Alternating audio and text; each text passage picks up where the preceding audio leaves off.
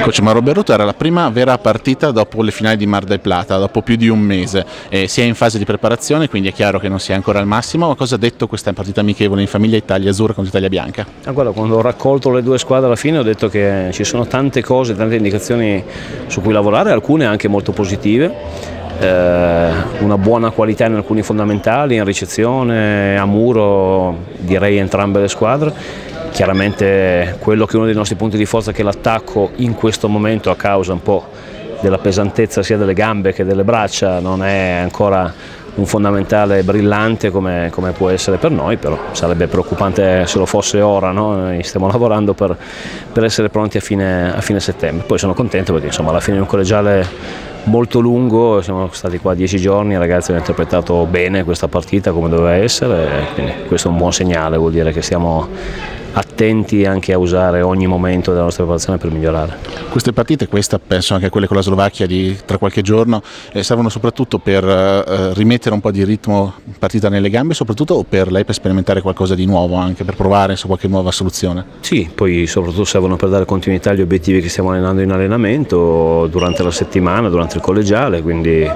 oggi le squadre hanno dei compiti abbastanza specifici che sono riusciti a, a fare abbastanza bene, chiaramente abbiamo anche bisogno poi di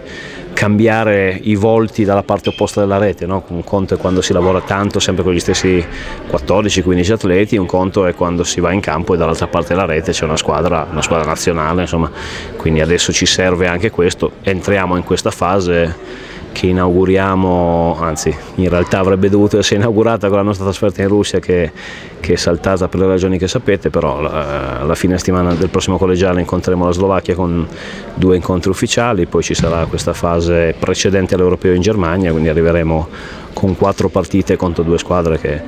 ovviamente insomma, ribadisco quando poi si arriva a giocare quelle partite a prescindere dal momento uno vuole, vuole far bene entriamo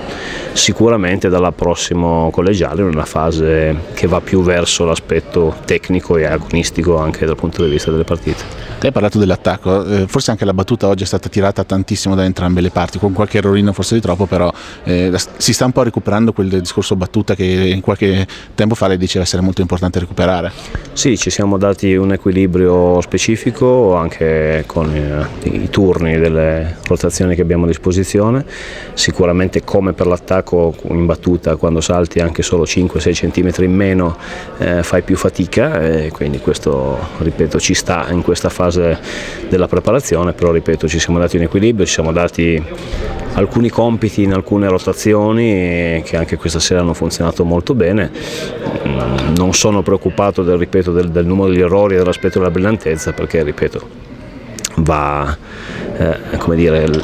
è previsto che sia così, sarebbe, sarebbe, preoccupante se fosse il contrario e avremmo sbagliato qualcosa se fosse il contrario. Quindi state rispettando in pieno la tabella di marcia che lei ha in testa per arrivare ai campionati europei? Sì, non solo la stiamo rispettando in pieno, ma siamo anche fortunati e bravi nel riuscire a non aver cambiato, a parte questo imprevisto legato alla Russia,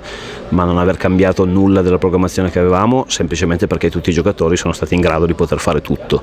con difficoltà, con stanchezza, con, con eh, pesantezza che è quella di cui parlavamo prima, però non abbiamo avuto tocco legno dicendolo, ma non abbiamo avuto nessun intoppo dal punto di vista fisico, quindi siamo riusciti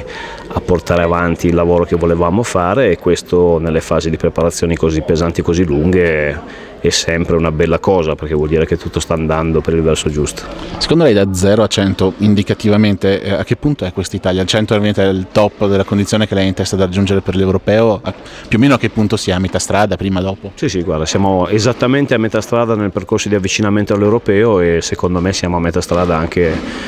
nella condizione, nella condizione fisica e anche nella eh, così, nel miglioramento di alcuni aspetti del gioco che adesso, ripeto, diventeranno obiettivi sempre più specifici e sempre più mirati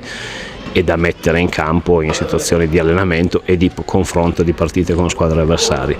Siamo difficile trovare una percentuale, però procediamo con eh, con insomma, la, la, la, traccia che ci eravamo dati e procediamo insomma, sapendo che c'è ancora un bel margine sia fisico che tecnico da, da migliorare.